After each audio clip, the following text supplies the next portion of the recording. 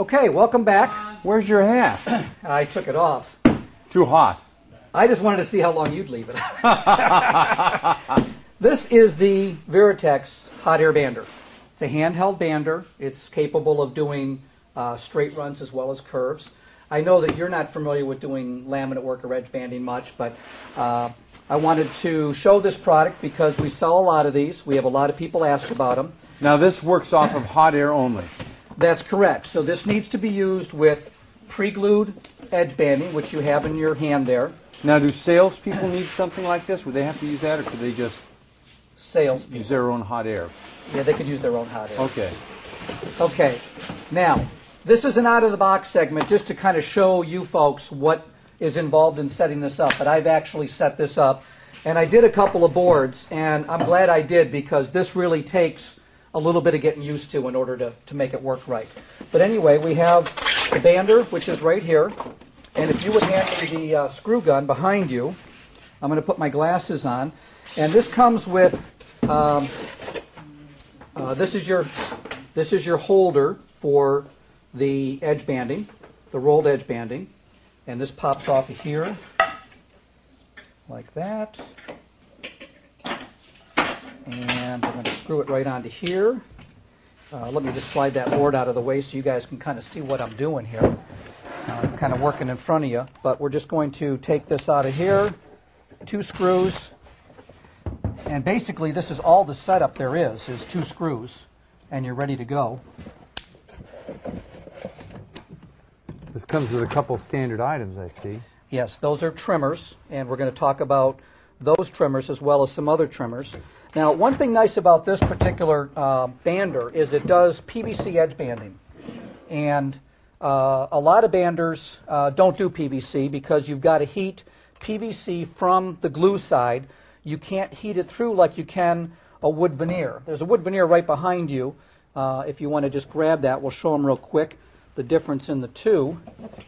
Um, this is PVC. It's flexible.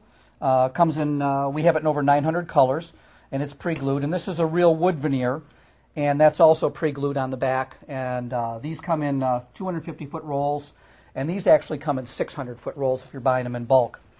But this unit works really well. Uh, we're going to lock it into. Now I've got a question for you, John. Um, something you said and I was unaware of.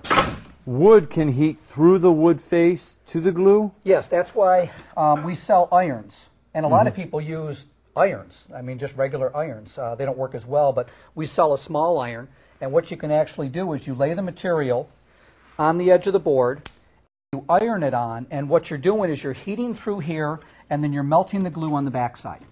You can't do that with PVC because the PVC will melt. Okay. So whenever you're looking at doing uh, a PVC job, you've got to make sure that your bander is capable of, of doing that particular job. Now, like I said, this one is a little tricky to get used to. Um, what you have to do first is you have to dial these in so that this touches the sides of the boards. You're live. And this is uh, a, uh, uh, it's just, well, not an indicator, but it's like a guide to slide back and forth. Okay, so you can make sure that you get that on good. And all you do is you start out front here, and you bring this down to where, oh, sorry, I've got to slip through the threader there. And you just bring that down to where it stops. And you can see it stopped actually in the piece here, and it's actually hitting the guides. So what we're going to do is we're going to just slip the guides over the edge. We're going to turn it on. Now is there a warm up time you have to wait for that? No, it's it's immediate. And you cut it off before you get to the end of the board, and then roll it down. And it's as simple as that. I mean, it works that easily. Hmm. That is fascinating. Yeah. Now, it, it took me about 10 tries to get to this point, in all honesty. Out of the box, if I were to hand this to you, you probably would have had the same problem that I had was getting it started, getting it lined up. But once you get everything adjusted, you can really do these panels one right after another. Now, this is a little bit cool on this side, so it didn't really stick that well. Um, but you get the idea. Now, I did a couple of boards before.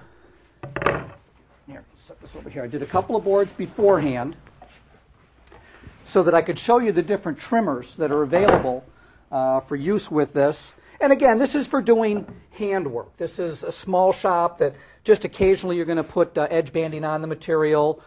Um, it's not a production shop. For a production shop, Virutex has three other machines that we can talk about if we have time.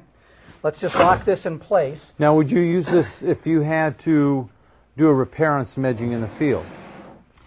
I well, it depends. If it's a shelf, yes, but you're not going to be able to get this on uh, a face frame or anything like that. So that would be difficult. Okay. Uh, mostly in shop work.